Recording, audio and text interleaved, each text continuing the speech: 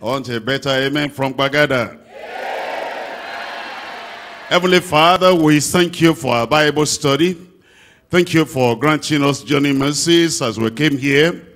Thank you for the old timers, our leaders, our pastors, our workers, our members who are here and the invitees. Lord, we pray that tonight you open the eyes of everyone to behold wondrous things out of your word in Jesus' name. And for those who are studying with us all over Lagos and all over Nigeria, all over Africa and beyond, Lord, we pray the same blessing you shower upon your people here, you shower upon every one of them in Jesus' name. Unite our hearts with the Spirit. Unite our hearts with the Lord Jesus Christ and with the Father and with the word of the Lord even tonight in Jesus' name. Show us the way. Point out the way. And Lord, as you lead us, there will be something within everyone that will say, I will follow. Give us your grace. Empower every life. We thank you because we know you have answered. In Jesus' name we pray. Thank you very much. We can sit now. I welcome you to a Bible study at Gbagada tonight in Jesus' name. Surprisingly, at Gbagada we're starting a new book today. Maybe it's coincidence, uh, maybe it's a special thing because it's Gbagada. That's why we're having, um, you know, this new book. And you're here, and you'll always be here. And for newcomers who are here today, we're asking and uh, pleading with you that you keep on coming because God is taking us somewhere great. And want to take you along. Come with us and the Lord will do you good in Jesus' name.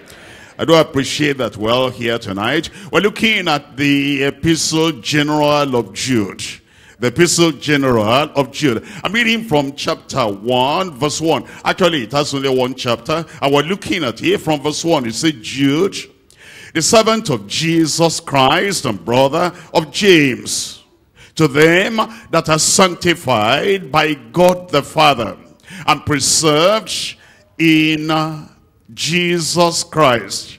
And then it says, and called, mercy unto you, and peace and love be multiplied. Beloved, when I gave all diligence to write unto you of the common salvation, it was needful for me to write unto you and to exhort you, that ye should earnestly contend for the faith which was once delivered unto the saints. Those are the verses we're looking at today. You see the beginning, the writer puts the name, and it says Jude.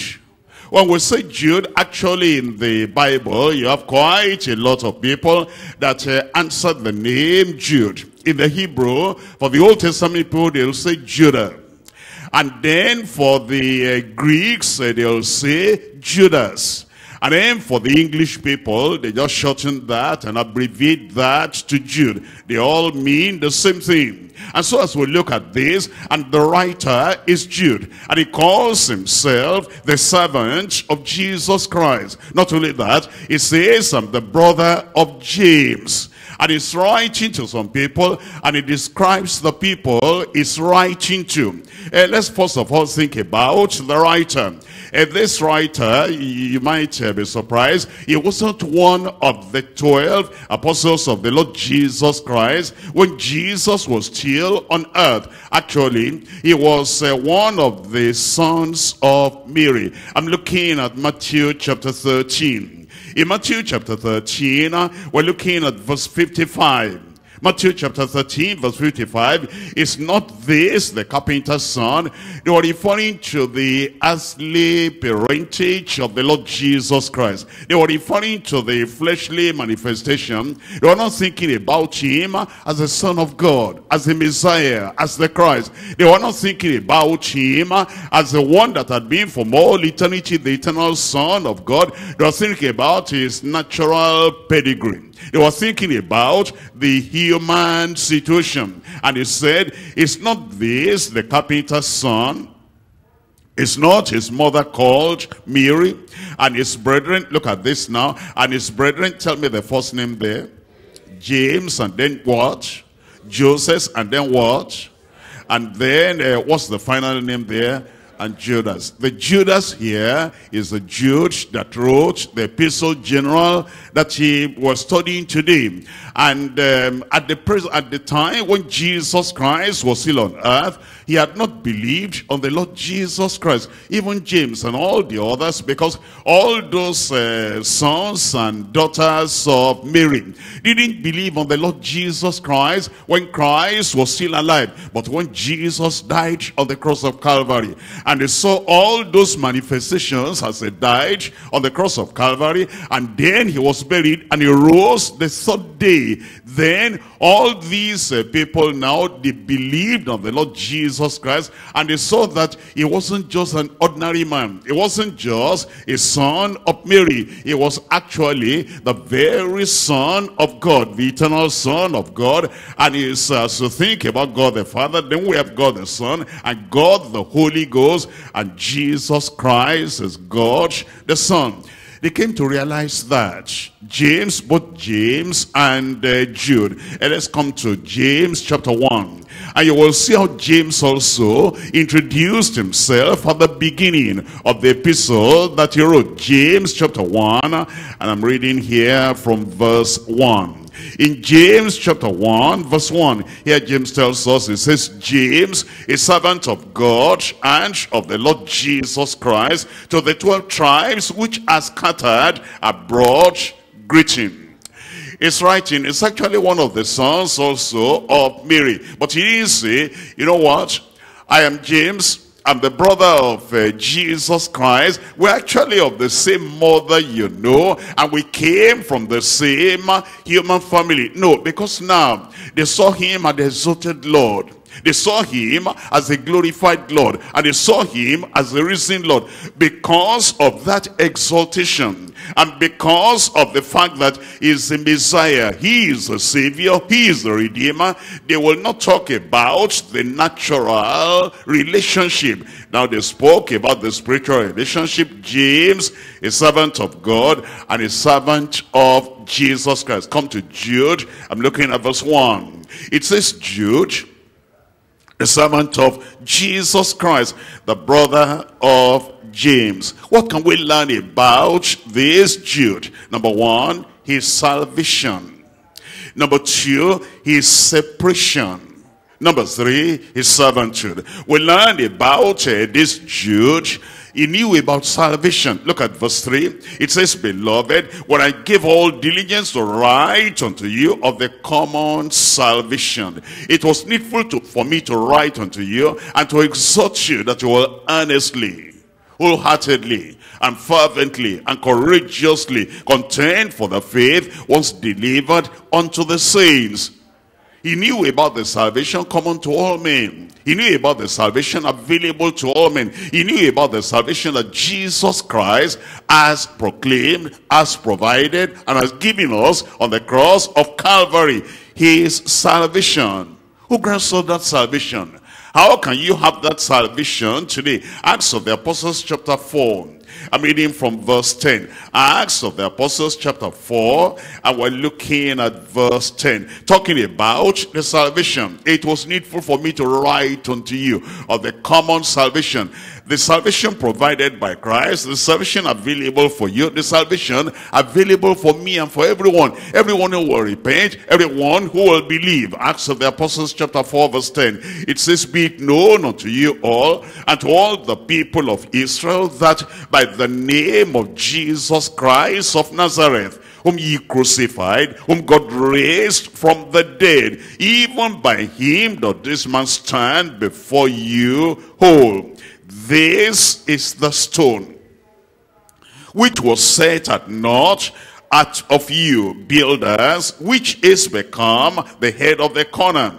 Neither is there salvation in any other. Peter realized that. Jude realized that. James realized that. You need to realize that if you're going to be saved, salvation from sin, salvation from corruption, salvation from evil, salvation from the punishment and the perdition that comes upon the people that have not known the Lord. If you're going to have that salvation, there is neither is there salvation in any other, for there is a none other name under heaven given among men whereby we must be saved. How do you get that salvation? If it's in Christ. Christ died for you. For God so loved the world that he gave his only begotten son. That whosoever believeth in him should not perish but have everlasting life. I know that, but how can it be mine? How can I have that salvation? How can I have that redemption, that forgiveness? How can I have a place in heaven? In Romans chapter 10, it tells us how. How you have that salvation how you possess that salvation, how you have the assurance that that salvation is yours. In Romans chapter 10, verse 9, that if thou shalt confess with thy mouth, you have something to do about this. And you have, uh, you know, the faith to manifest about this, a personal sin, an individual sin. It's not like, you know, a community salvation, a national salvation, a, a denominational salvation. This is what you come to realize by yourself. And if thou shalt confess with thy mouth the Lord Jesus, and shalt believe in thine heart that God has raised him from the dead, tell me what follows there thou shalt be saved. For with the heart man believeth unto righteousness, and with the mouth confession is made unto salvation. We're talking about Jude, and we're talking about one, about his salvation. That's what he did. He turned away from sin. He turned to the Lord Jesus Christ. He wasn't looking at Jesus anymore as, um, you know, the son of the same mother, as uh, being brought up by the same human parents. He looked at him as Christ, as accepted one as the appointed one. This is my beloved son in whom I am well pleased. And he looked at Jesus like that with that peculiar faith. And he knew that he rose from the dead. And because he rose from the dead for his justification and for his salvation. And he believed that he got saved. His salvation. Number two, his separation. If somebody is going to have real salvation, there must be a separation why that? Because that's what God said. We're looking at uh, 2 Corinthians chapter 6.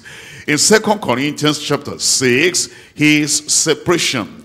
And here we're reading from verse 17, wherefore come out from among them. And then he goes on to say, be ye separate, says the Lord, and touch not the unclean thing, and I will receive you. You see, it says, says the Lord. It's a commandment of the Lord. This is what he commands for everyone. You see, you can go to church for many, many years and not be saved. You may identify with a Christian body, a denomination, and never be saved. You may identify with religion, a religious body, and never be saved. You may identify with all the things they do in religion and never get saved. But when you hear what the Lord has said, that he came to call us out of our sin. He came to call us to repentance. And he came to call us to salvation. He came to call us to life eternal. And you say, I want that salvation. I want that forgiveness. I want that eternal life. Then the word of the Father comes to you. It says, wherefore come out from among them. Among whom? Among the gang you belong to among all those careless people you have been living your life with, among the people that are religious but they are defiled and, and they are evil, it says, come out from among them and be ye separate, says the Lord. And it says, touch not the unclean thing. Come out clear. And let us know that, let everyone know that really you believe the Lord and you want the real salvation of the Lord. You come out, you touch not the unclean thing. And he says, I will receive you. And then in verse 18, and I will be a father unto you. And ye shall be my sons and my daughters, says the Lord Almighty. Separation. He wants that. He demands that. And he calls us to that. Because as long as you remain in the world, you, you, cannot, you cannot have that salvation. That eternal life. There must be a clear break and a clear coming out of those uh, evil things. And then you have salvation. We're looking at James chapter 1. In James chapter 1, it tells us in verse 27. He says pure religion and undefiled before God and the Father is this. Look at this. To visit the fatherless and the widows in their affliction and to, look at this, and to keep himself unspotted from the world. That's separation right there. If you are with the world and you are still with the world, you are drinking what they are drinking, eating what they are eating, and dressing the way they are dressing, and uh, making a mess of your life, they're, they're, doing. Even though you're religious, whatever religion, that doesn't save. But you repent, you come out of those evil things, believe on the Lord Jesus Christ, and then salvation will come. Number one, his salvation. Number two, his separation. Number three, his servanthood. Let's come back to Jude. I'm looking at Jude chapter 1, verse 1. Jude, chapter 1, verse 1. It says, Jude, the servant of Jesus Christ. The servant of Jesus Christ. It's not a claiming any relationship, but just the servant. He saved me. I've given my life to him. I've surrendered my life unto him. And because I've surrendered myself, my spirit, my soul, and my mind, I'm wholly given unto the Lord. He says, now I am a bond slave of the Lord Jesus Christ. What he says, I will do. Where he sends, I will go. And what he commands, I will obey. Because now I see myself, I'm saved, saved from sin, I'm separated, separated from society, and then I am a servant of the Savior and the Lord who has saved my life. A servant of the Lord Jesus Christ. And look at the implication of this. If you say you're a servant of Christ, a servant of the Lord, a servant of God, see the implication. I'm looking at uh, Galatians chapter 1 in Galatians chapter 1 here we're looking at verse 10 Galatians chapter 1 verse 10 for do I now persuade men or God? Or do I seek to please men? For if I yet please men, I shall not be the servant of Christ. Think about that. If I yet please men, I shall not be the servant of Christ. I don't understand that. Do you? What, what does he mean by that? It means this. When you think about man, man is carnal. Man is sinful. Man is depraved. Man is evil. And man thinks of going the wrong direction. They always go the wrong direction. There is a wrong tendency for man. There's a wrong propensity for man. There's a wrong uh, leanings for man. And here you have a man. Here you have Christ. Here you have the Lord. And then Christ is saying, this is the way to go. I'm the way, I'm the truth, I am the life. And then because man is sinful, because man is natural, because man is carnal, because man is depraved, it's not going to be in agreement with Christ. It's going to direct you in the opposite direction of what Christ is saying. That's why it says, you cannot obey two masters. You cannot be a servant of two masters. The master from heaven says, this is the way to go. And the one on earth that is tying something on your leg and tying something on your brain and is trying to influence your life is saying, uh-uh, this is the way to go. Now you have to make a choice. If you have been saved, salvation. If you have been separated from what? Separation. Then if you're a servant of Christ, what's the implication? You say no to the man. The man that's supposed to Christ, I say no. The man that wants to control your life and he didn't die for you, say no. The one that wanted, you know, wants to be the master and the Lord, the authority, the control, the director over your life, you say no because I've given my heart to Jesus. I've given my life to Jesus. That's what it means. That because now you're obedient to the Father and you're giving your life, everything you've got to the Father, and then you submit and surrender to the Lord Jesus Christ as your Lord and Savior and Master you say yes to the Lord and no to man. And it says, I'm Jude, a servant of Jesus Christ. We're looking at uh, John chapter 12. In John chapter 12, I'm reading from verse 24. It says in John, John 12 verse 24, Verily, verily I say unto you, except a corn of wheat fall into the ground and die, it abideth alone. But if it die, it bringeth forth much fruit. It's, it's telling us about a problem right there. The corn of wheat is talking about is the cell in man.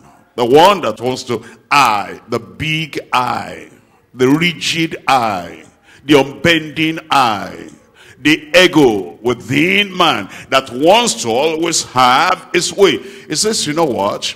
If you live like that, and you always want to have your way, and the I is rigid, and the I is unbending, you're going to live alone. And you're not going to have a fruitful life. You must bend. You must bend. That's why it says, it says over here that if the corn of wheat will fall to the ground and die, and let self die, then you can be a servant of the Lord. Because it says, if it's uh, not dead, it will abide alone. But if it die, it bringeth forth much fruit. Look at verse 25. He that loveth his life shall lose it. And he that hateth his life in this world shall keep it unto life eternal. If any man, what's the next word there? Serve me. If any man serve me, I will serve the Lord. With all your heart, all your soul, all your mind. You cancel self. You bury self. You forget self. You reject that self-centeredness that controls the people that are not born again. And the people that say they are born again, but the self-centeredness will not allow them to bear any fruit or to be profitable in the kingdom of God. You cancel that. And it says, if any man serve me, let him follow me. And where I am, there shall also my servant be. Where's Jesus Christ now? I said, where's Jesus Christ? I'm going to be there. Will you be there? I says, if any man serve me, where I am in heaven, there shall my servant be. If any man serve me, him will my father honor. We're coming back to Jude chapter 1 verse 1. Jude chapter 1 verse 1. We've looked at Jude, the writer of the epistle. And we've seen, number one, his salvation. Number two, we've seen his separation. Number three, we've seen is servanthood. And now we're looking at verses 1, 2, and 3 tonight. We're studying verses 1, 2, and 3 tonight. Jude, the servant of Jesus Christ and brother of James, to them that are sanctified by God the Father and preserved in Jesus Christ and called mercy unto you and peace and love be multiplied, beloved. When I give all diligence to write unto you of the common salvation, it was needful for me to write unto you and to exhort you that ye should earnestly contend for the faith once delivered unto the saints. Tonight our topic is believers, conviction, and commitment to the faith. Believers, conviction, Believers in the plural, the apostrophe comes after the S. Believers' conviction and commitment to the faith. Are three things we're looking at. Number one, the entire consecration of the faithful. The entire consecration of the faithful. The complete consecration of the faithful. A kind of consecration that is total a kind of consecration that is entire. A kind of consecration that is complete. The entire consecration of the faithful. Number two, the ever-flowing compassion. The ever-flowing compassion from the fountain. Ever-flowing compassion from the fountain. The fountain of the very heart of Christ. The compassion that flows from there ever flowing and it is still available today for you for me it will satisfy your life in jesus name the ever flowing compassion uh, from the fountain number three our earnestly contending for the faith our earnestly contending for the faith. We're coming to number one. Number one, uh, the entire consecration of the faithful. Let's come to Jude chapter 1 verse 1. It says Jude, the servant of Jesus Christ, a brother of James, look at this now, to them that are sanctified by God the Father, and then preserved in Christ Jesus, and called. You see three things there about the people that um, Jude was writing to. And I pray you'll be among the number. I said you'll be among the number. So that you'll be able to say, it's written to me too. Jude, the saved man. Jude, the separated minister. And Jude, the servant, uh, mentor. He also wrote to me. What did he write to you? He wrote that he exhorted you that you will continue in the faith and you will earnestly contend for the faith once delivered unto the saints. The entire consecration. You see three things here and you see the way Jude is writing is writing from the uh, top and the end is coming to the bottom. You say, what does that mean? Eh, you know, sometimes uh, when uh, they tell you to write your CV, you're looking for job. And you want to get this job, and uh, you know, they're not asking for a primary school uh, kind of uh, certificate. They, they want to know what's your educational level.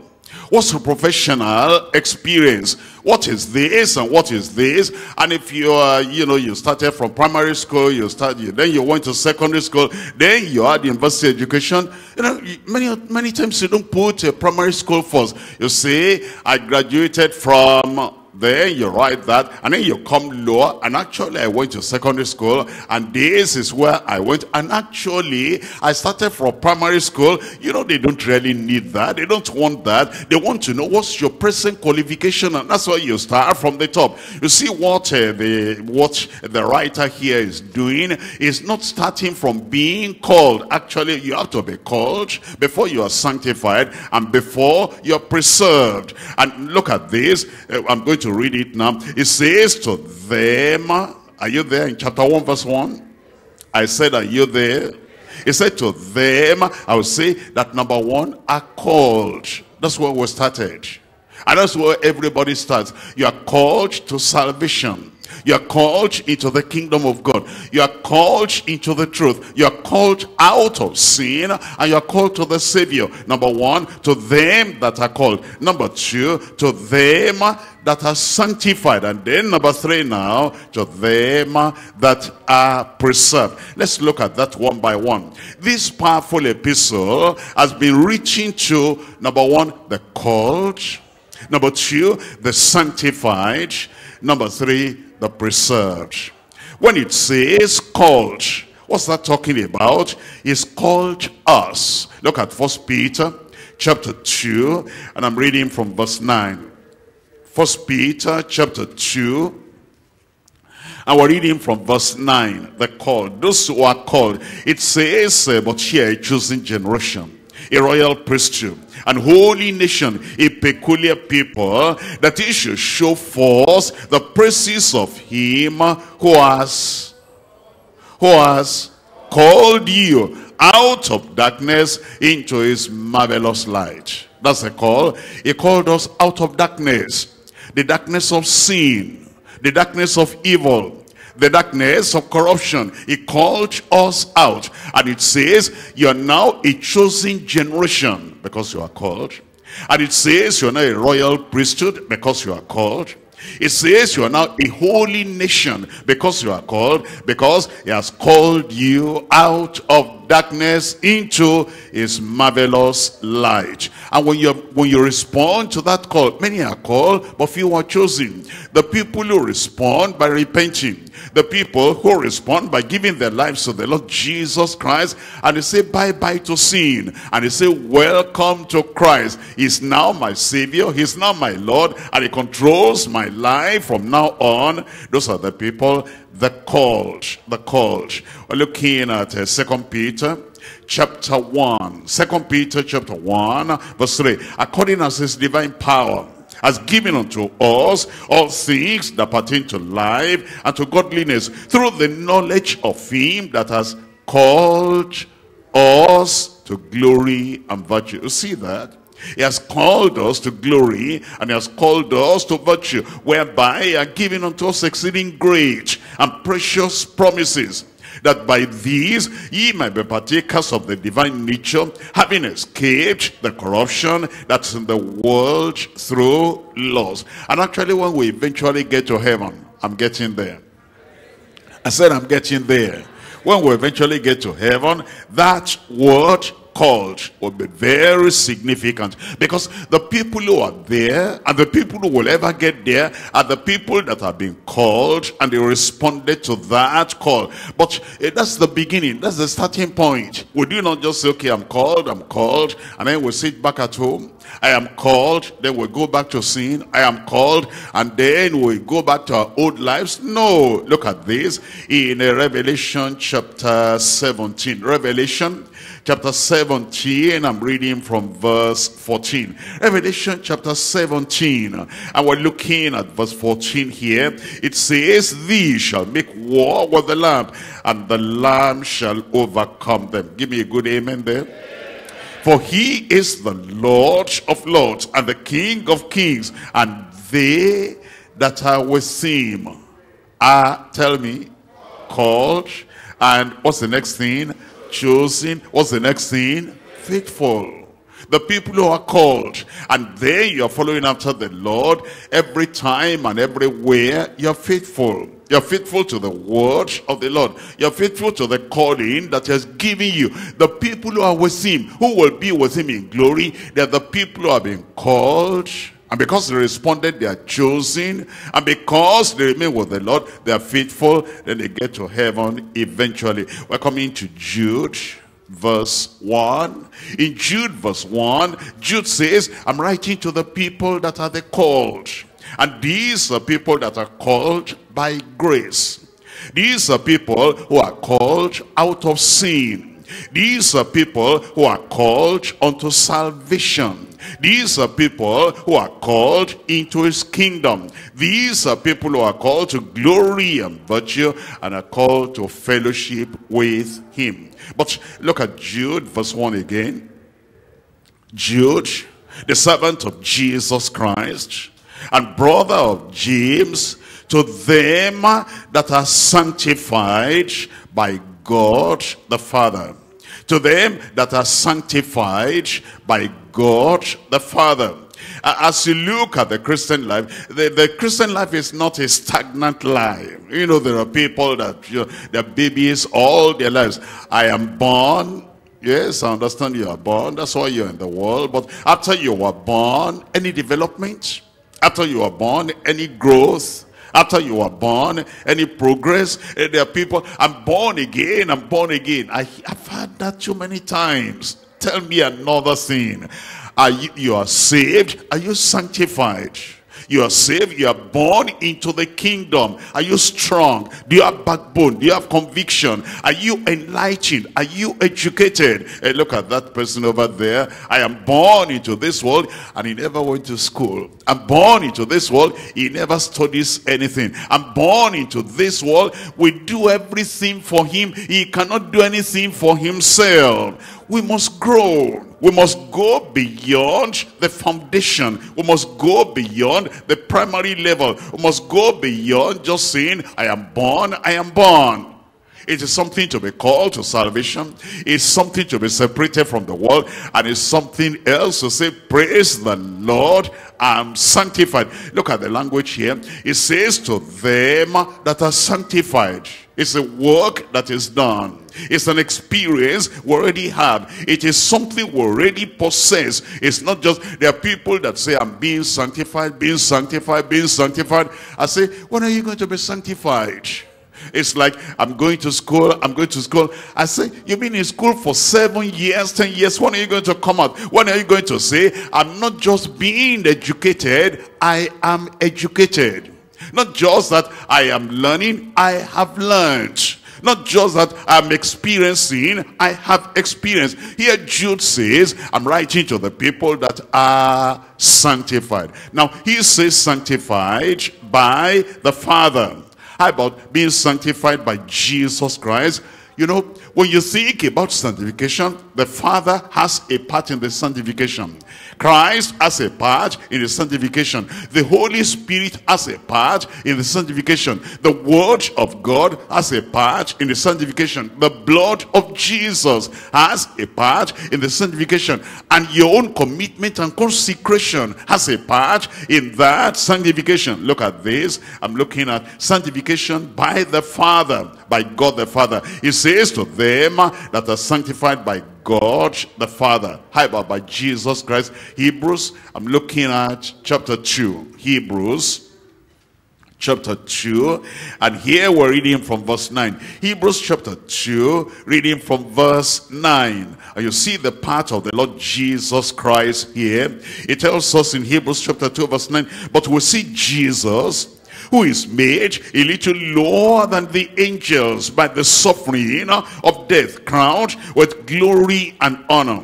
And he that he, by the grace of God, should taste death for, tell me out loud, every man. There's some people who say they don't know whether it's salvation for them or not. Thank God there's salvation for me.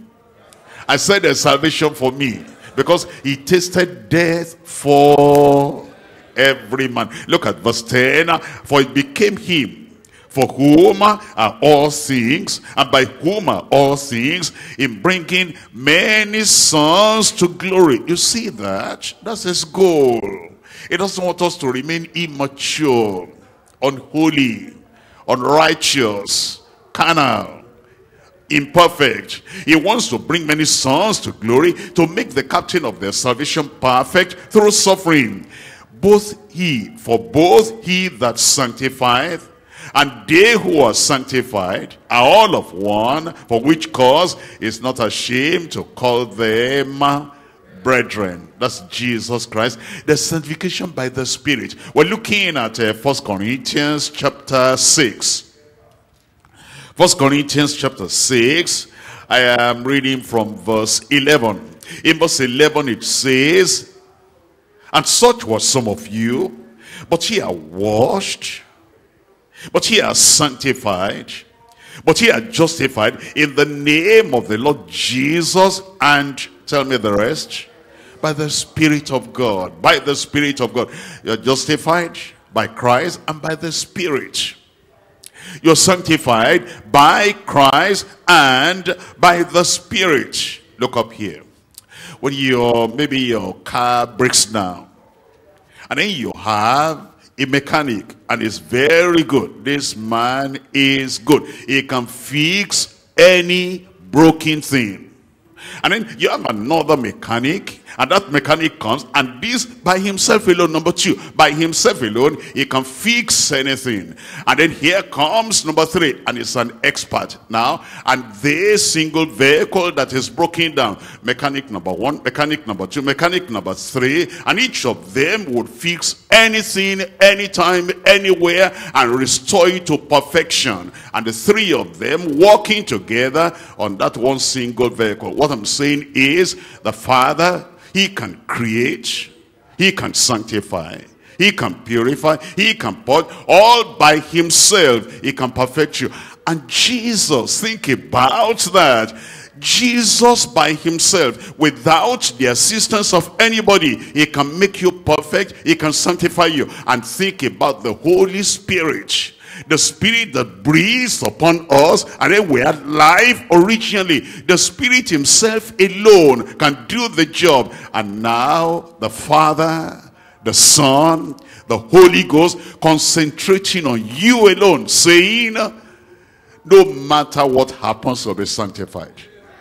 I said you'll be sanctified because the sanctification by the father and then by the Son, and then by the Holy Ghost, and then by the Word of God. Look at uh, look at this, Ephesians chapter 5. Ephesians chapter 5, I'm reading from verse 25. Husbands, love your wives, even as Christ also loved the church and gave himself for it, that he might sanctify and cleanse it with the washing of water by the word. He will sanctify you.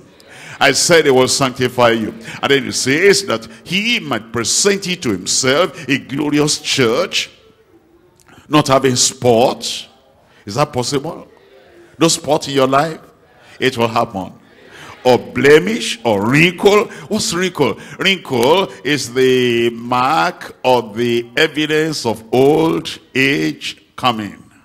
When the face is wrinkled, and then all the skin is wrinkled, it's the mark of the old man. And then when you are sanctified, all those evidences and the marks of the old man, old nature, everything, every wrinkle will be taken out of your life or any such thing, but that it should be holy and without blemish. And so you see then that God is able. And tonight, if it has not happened, it will happen.